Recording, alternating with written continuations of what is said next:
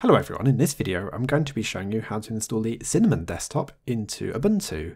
So why not just use Linux Mint? Well, because you want a choice and we have the option to in Linux.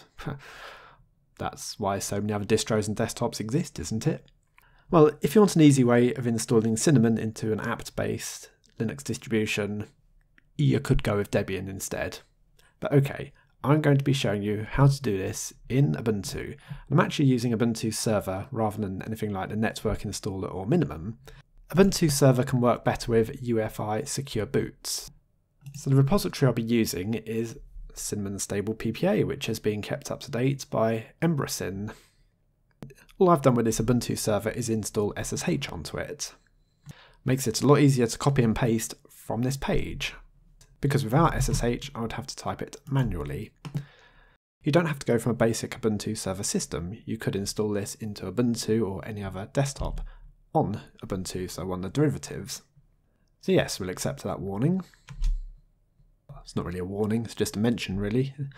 Then sudo apt update. I'm going to be old fashioned and use sudo apt get. Install the packages at cinnamon, Cinnamon desktop environment. An optional package if you want Bluetooth is Blueberry. And if you're installing from Ubuntu server, you will need a login screen.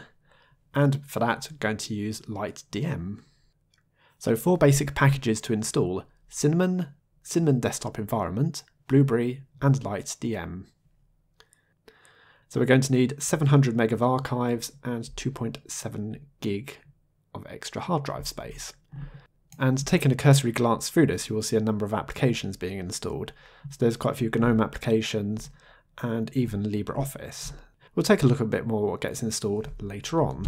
So yes, go for it.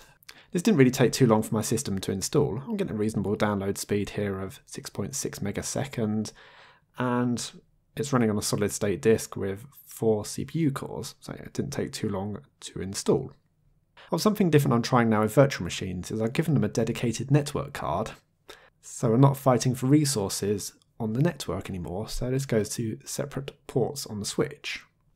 It didn't really cost me anything much to try, so I thought, well, I'll give it a go. Well, something I forgot to mention, which we can take a look at while the install is taking place, is that Cinnamon is currently at version 3.4.6. And it's compatible with a few different versions of Ubuntu, so we've got the long-term support release of 1604 and the current supported releases of 1704. Okay, the install is complete, but I'm going to need to do one little thing because I'm running a VirtualBox here. I'm going to need the guest additions. I've built a script for this because I've done it so many times now, so wget quidsup.net forward slash sh forward slash vboxguest.sh. Then sudo bash vboxguest.sh. And then reboot. So you notice here I've got nothing fancy on the boot up screen. Yeah, we could install the Plymouth packages. So yeah, cinnamon. So this didn't work the first time around, but I gave it a reboot and tried again, and it's now working okay. So running in software rendering mode, yes, that's the price I pay for running in VirtualBox. That's okay, I'm just demonstrating here, it's not a formal system review. So in terms of applications pre-installed, there's actually quite a few really. quite a few indeed. Right, pretty much similar to how much you get with the GNOME desktop in a lot of cases. Actually, no, slightly more. Got Inkscape, Firefox web browser, the full suite of LibreOffice, Rhythmbox and SoundJuicer for the audio players. Take a look at the system monitor. I know this is unfair to do it in the graphical interface, but hmm, let's just try it out. 1.1 gig of RAM. What?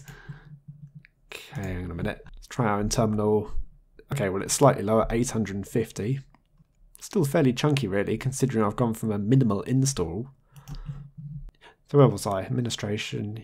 Yeah, so got Synaptic Package Manager. Preferences. Okay. So there's a few different things here. Uh, notice there's no update manager. So you'll have to do your updates through Synaptic or rectify that situation and install another update manager.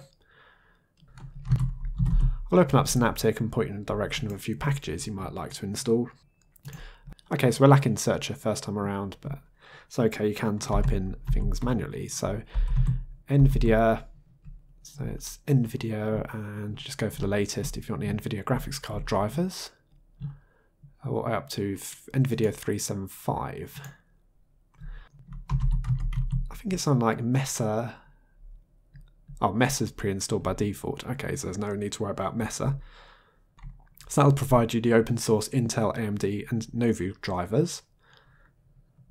Apparently we do have something of Plymouth here, but uh, we just need a theme to install over the top. So, you know, something like this, Plymouth theme Hamara. Let's install that, apply. There's an update manager, so you could install that. It's got a few dependencies there. That's okay, it's nothing too major. Apply that. So that's how to install the Cinnamon desktop into Ubuntu. Now you can go make of it what you want. thanks for watching, I'll see you all later.